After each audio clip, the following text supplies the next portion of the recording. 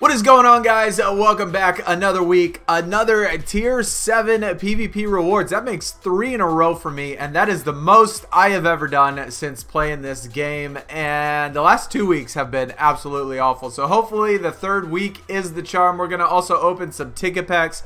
I think I have enough of four of them, and we're also going to go through everything that's happened, I guess, the past week, because I am getting so very close to that behemoth tier. Hopefully, maybe, if I get lucky today, I think I might be able to make it. We did have the War Games event, new War Games event, and I actually kind of liked it. I mean, I actually kind of liked the event, but it was just way, way too much work for me. I think I gave up on Saturday calculating that I would need to spend like 2,000 some odd credits and have to play like 100 games or something like that.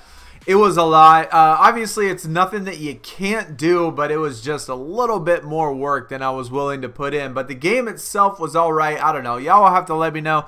What did you think about the actual event itself in the comments and how were your rewards? We had a team Road to Glory, which we got through a breeze which is a lot better, obviously, going past the very first week of initial Season 7 launch when we had all the low tier cards.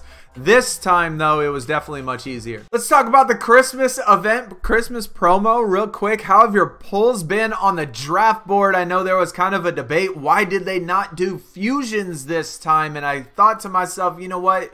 A lot of people didn't do well on the fusions, and maybe this will give them a chance to get better cards. Well, I'm like the opposite of that.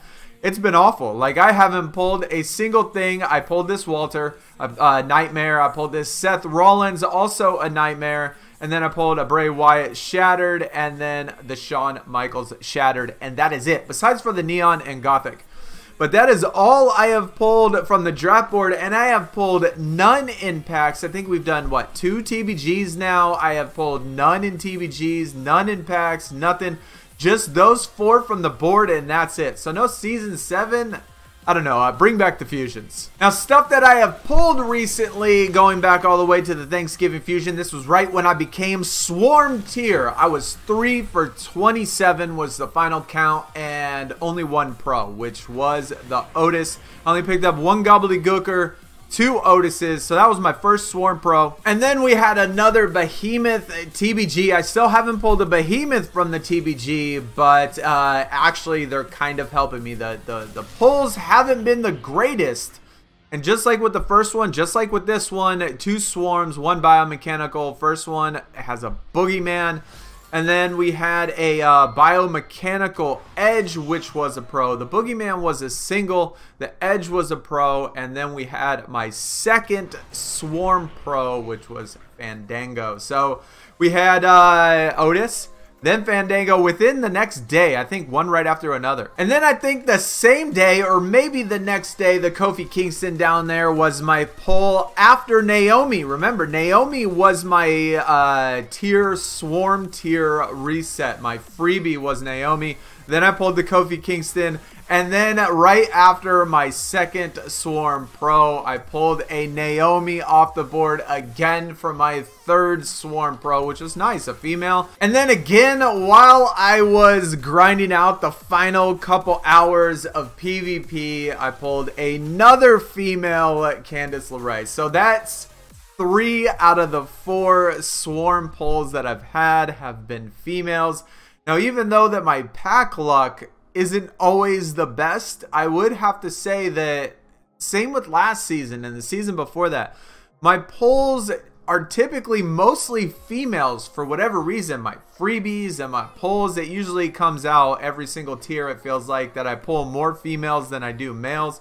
Just the packs for me are just never good, but still good pull. And then just to show the last TBG that we did, another Behemoth TBG, we got another two Swarms and a Biomechanical. So every Behemoth TBG, I think that's three of them now, that uh, we pulled the exact same thing in the packs, which was two Swarm, one Biomechanical, Bianca Belair. I forgot. I pulled her on the draft board as well as a Biomechanical. I pulled her like a couple days ago And then I pulled her in the pack, so that's another female, but just a biomechanical pro. Still helps though. So yeah, like I said, we are Swarm Plus Plus, and I think maybe, maybe if I get another Swarm Pro I'm pretty sure if I got a female Swarm Pro that I would be able to make it into Behemoth because I still do have those five momentums, four male, one female for the momentums, and if I can make my second female a Swarm Pro,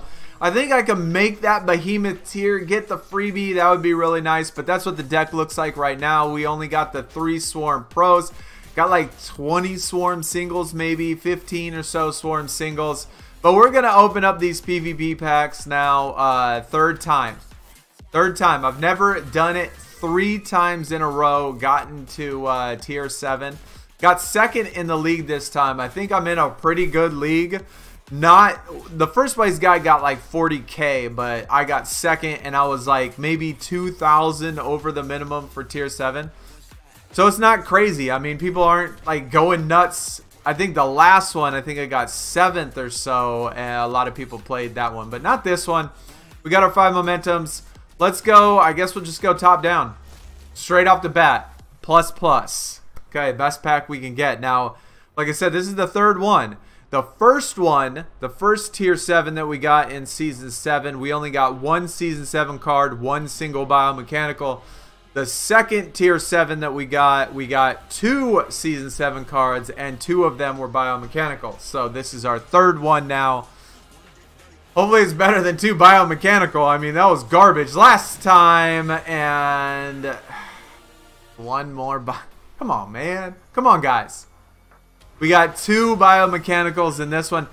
I would have to say that out of all the packs, man, out of the, all the packs you earn, whether it be like opening with uh, PvP points or now super coins, um, the TBG packs, the ticket packs, I would say hands down, these are the worst packs in the game. These packs are terrible. Like, why can we never pull anything good in these packs? Drew McIntyre. Okay. So we only got, I mean, we only got two uh, Season 7s, which is, I don't know. We got two of them last time, I guess. So Maybe we're ahead of schedule. Here's the PvP Plus pack. One more biomechanical. So maybe we're progressing ever so slowly. We got one in the first one, two in the second one, three in the third one. Another Drew McIntyre. So we got a pro. We got. That's not going to help us. Uh, we don't even need up arrows either. If I was gonna put it in the Giants Unleashed deck, I actually don't even need up arrows. I need, I think I need right arrows is the one. Both male and female, I think I need right arrows only. Last pack for PvP. Why are these packs so bad? I don't know. I, I know that there are people that do pull good stuff in here. Just not, just not me. Okay.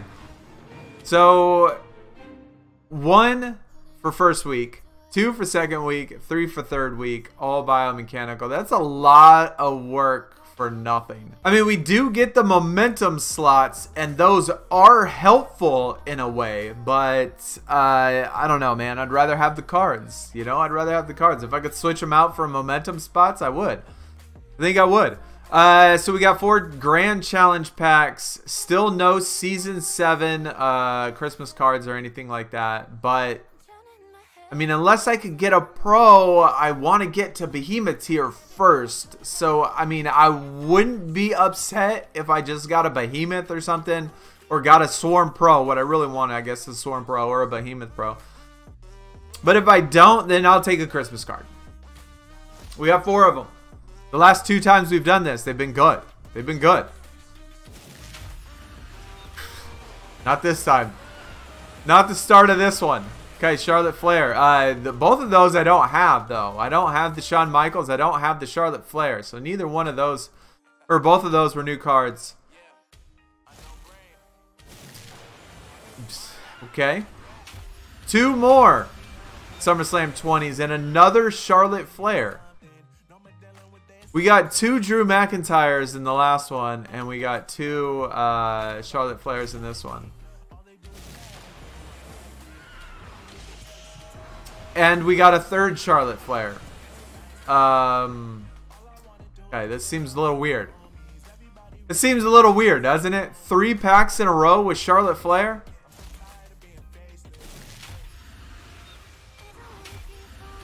And then a Nikki Cross. Woo! Well, uh, Supercard obviously feels like today is just not my day to get anything good at all. I'm going to have to say that compared to the previous like three or four videos, this 100% was probably the worst pack opening I've ever done. Considering, I mean, I didn't open very much, obviously, just the PvP and just four ticket packs but that was still probably the worst I could have done. As far as super coins go, man, I've considered saving up uh, all the way and get this uh, Scott Pro.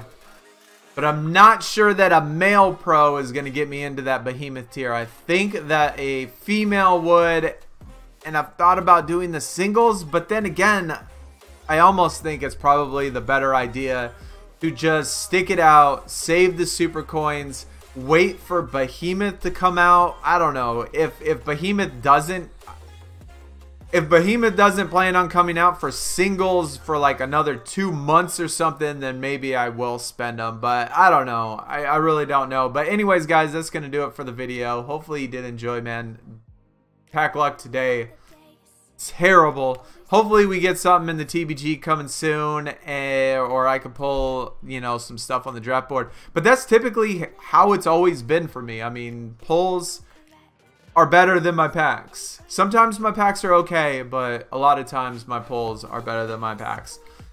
Hopefully everybody is having a good week. I will see y'all again soon with the next event coming and obviously the new app Supercard going over to the NBA if uh, you know you're interested. We're obviously going to do it. You know, download it even if you don't watch basketball, if it's like Supercard, maybe you will enjoy it. I came from 2K originally and moved over to Supercard and started playing Supercard as well. So my original game was my NBA 2K. And then somebody on that on my team got me to come over to Supercard, and that's how I began playing Supercard. And I've enjoyed it ever since. So maybe you will too. But anyways, guys, I'll see you all later. I am out. Peace.